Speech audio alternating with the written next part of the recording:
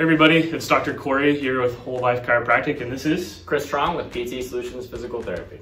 So, one topic recently is uh, sleep and how important it is to stay on a strict schedule. Um, I've heard a lot recently about how people are finding it hard to stop working Mm-hmm. um, simply because they don't have to go home or they don't have to leave work to go home. Right. Uh, and also, you know, people like their free time. So after they get done working late in the evening, they like to watch their TV shows or do whatever workout.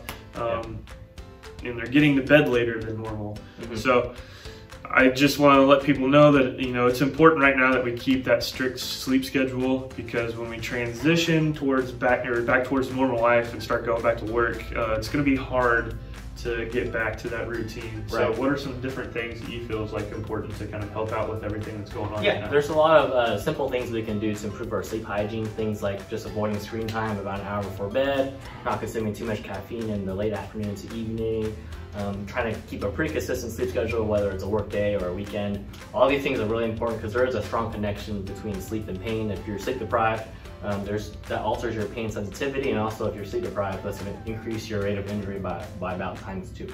Okay, those are some interesting facts. Thanks, Chris. Yeah, no problem. Everybody have a good day and we'll see you around.